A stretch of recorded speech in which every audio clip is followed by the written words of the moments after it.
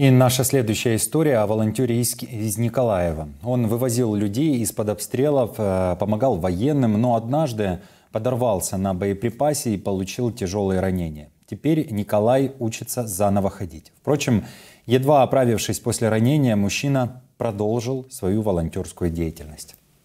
Это Баштанка, Николаевская область. Э, можно посмотреть, как э, российские войска уничтожали этот город.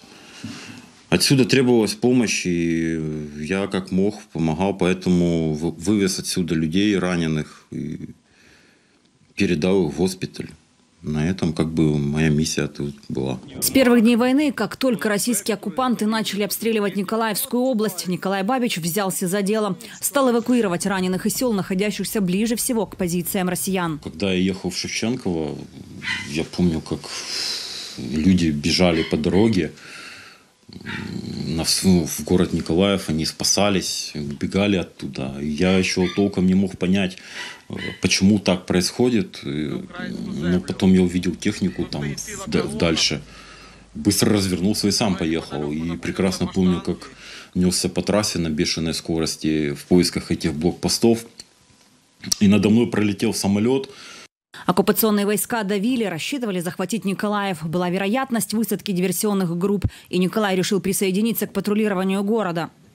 Когда российские танки пытались прорваться в город, патрулировали по вечерам, чтобы ну, был порядок, не было грабежей. Мы мешки набивали песком и возили продукты на блокпост. И искал я эти блокпосты, куда их привезти.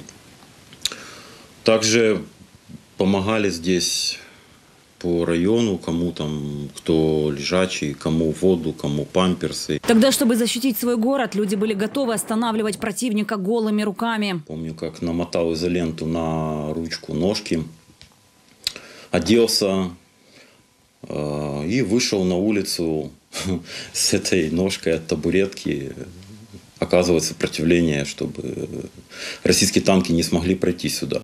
Когда россияне поняли, что Николаев им не по зубам, стали поливать город огнем. Часть снарядов взрывалась, нанося страшные разрушения. Другие коварно дожидались жертву. На одном из таких снарядов Николай подорвался. Он поступил с минно-взрывной травмой нижних конечностей, переломом костей голени правой ноги и открытым переломом костей правого предплечья и плеча. Его ткани были нафаршированы металлическими осколками и был дефект мягких тканей.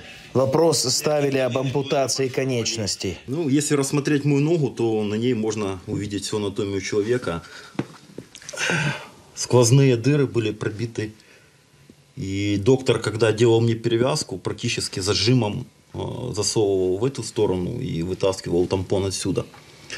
Также у меня была кость раздроблена. Никогда не мог даже подумать о том, что с моей руки будут торчать 7 штырей и, и несколько штырей с ноги. Ранение стало испытанием, но не сломило мужчину. Несмотря на сильные боли, вот, он старался, старался каждый день что-то делать для того, чтобы преодолеть эту, эту боль, потому что у него очень сильно, как сказать, стремление к жизни. Вот. И помогать людям, оптимизм.